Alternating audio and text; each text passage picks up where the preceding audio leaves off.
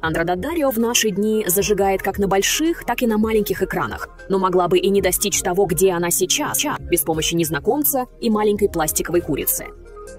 Того, как обман Джейд, ветреного персонажа Александры Дадарио, раскрывается в «Почему женщины убивают». Она усердно работает, пытаясь завоевать симпатии супружеской пары Тейлор и Элли. Она привносит очарование на кухню, готовя вкусные блюда для них. Как оказалось, Дадарио и сама далеко не плоха на кухне. В интервью 2020 года с Дадарио и ее, дашней соседкой Кейт Истон журнал «Журнал» спросил, чтобы она преподала на мастер-классе, и ответ Дадарио был «кулинария». Бывшая наркоманка по выносу еды, она начала готовить три раза в день для, для своей соседки во время ковид. Дарио говорит, что, что она требовательна к нарезке лука. Истон согласилась, пошутив. Она научила меня так хорошо, что я смогла бы завтра стать сушефом в ресторане Дэнни Мейера. А теперь любой желающий может извлечь выгоду из новых кулинарных навыков Дадарио благодаря ее восхитительному уроку по приготовлению блинов с шоколадной крошкой. Для актеров нередко редко небольшим музыкальным талантом, но талант пианистки Александры Дадарио да что иное, как исключительный. Все это благодаря ее маме, которая позаботилась о том, чтобы будущая ведьма из Мейфера начала учиться игре на фортепиано в нежном возрасте 9 лет. Дадарио даже продемонстрировала свои навыки игры на фортепиано в дородительстве, когда ее героиня Рэйчел получила шанс сыграть лунную сонату Бетховена, одну из ее любимых песен. Как будто этого было недостаточно. Она также пишет музыку, рассказывая журналу интервью. Это хороший способ снять стресс. Учитывая значительный музыкальный дар Дадарио, неудивительно, что она высоко ценит этот вид искусства. В интервью для The Laterals она поделилась. «Я считаю, что музыка — это большой источник радости. Люблю джаз. Вообще-то, если вы включите джаз, мне, возможно, придется переодеться во что-нибудь более удобное. В каких муз-клипах снялась, включая Love is on its way, Братьев Джонас, Radioactive, Imagine Dragons, Wait, Maroon 5. Татуировка у Дадарио, символ как двойной крест, вдохновлен шотландской группой Frightened Rabbit. Узкие группы точно такая же татуировка. Я настолько одержима Грымовой и до сих пор остаюсь ею. На плейлисте Дадарио, Фиона Эонал, The Lumineers, The We See. Только начало ее интересов от кантри до классики и Диснея. Как и многие меломаны, все зависит от и текущего настроения. Некоторые актеры делают акценты легко, поэтому легко забыть, как много времени и труда вложено. Но для актеров определенные акценты могут быть важными. Для Александры Дадарио это британский акцент. Она была так зациклена на группе и до сих пор такова. Она открыла Women's Help. У вокалиста группы точно такая же татуировка. В интервью с Collider у Дадарио попросили рассказать о взлетах и падениях на кастингах. Дарио признала, что у нее было много неудачь в детстве, и она винила в этом свои неудачные попытки говорить с акцентом. Я пыталась говорить с британским акцентом, когда мне предлагали британские роли. Мне это не удавалось. Дадарио говорит, что она видела по лицам команды, как провалила прослушивание, и это было неприятно. Для актера, рассчитывающего на международный успех, перелеты – это часть работы, нравится это или нет – Александра Дадарио боялась летать, и ей пришлось это преодолеть ради работы. Она рассказала о своей бывшей фобии в интервью Collider, когда спросили о самом большом страхе, который ей удалось преодолеть. Дада сказала, «Мне ходится летать. Я летаю все время, и со временем, знаете ли, ты идешь в аэропорт и не плачешь каждый раз, когда самолет взлетает. Это не значит, что она полностью излечилась. Признала, что иногда борется со стрессом летать. Научилась справляться. Да Дарио могла быть артисткой перед 12, а не миллионами перед ТВ. Происходит из семьи юристов, кратко подумала о юриспруденции. Дед, итало-американец Массачусетса Илио, получил диплом в Коннектикуте, затем юридическую практику и политику.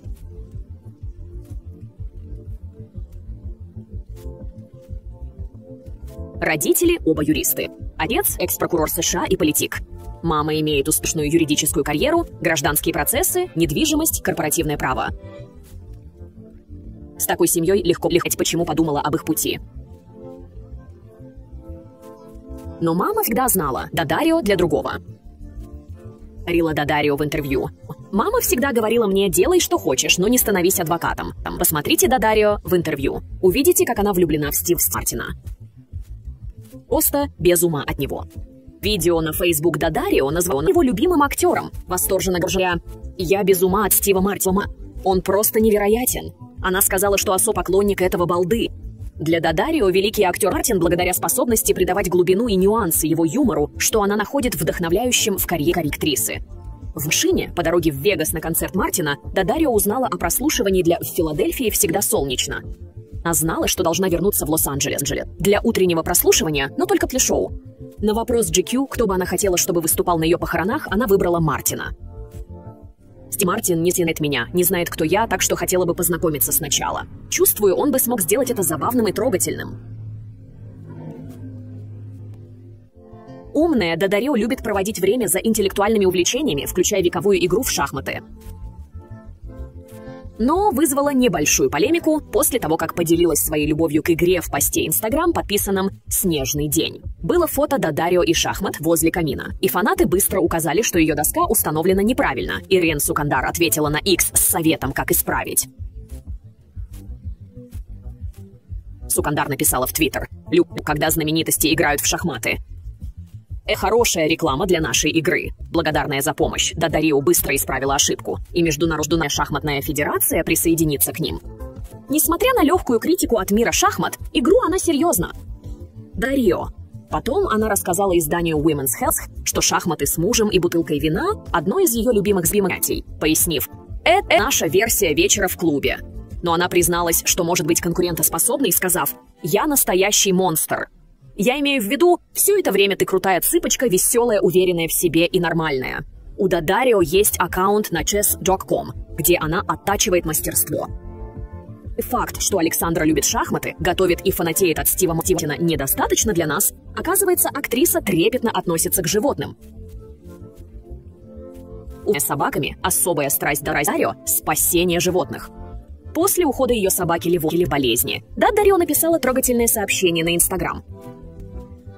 Она провозгласила Ливона милым и предвзятым духом, призвала владельцев домашних животных вакцинировать питомцев и вкладывать в приюты и больницы. В 2021 году Дадарио приняла Юнис из нью-йоркского хендлинга «Второй шанс». Второй шанс спас Юнис после СТП в Джорджии. К концу 2023 она начала разводить помесь питбуля и хаски под под Бруно, ожидая постоянный дом. Посте Инстаграм, прославляющим еще собачье достоинство, Дадарио разговаривала. Хотела бы назвать его Гарри, но мне не разрешают менять его имя.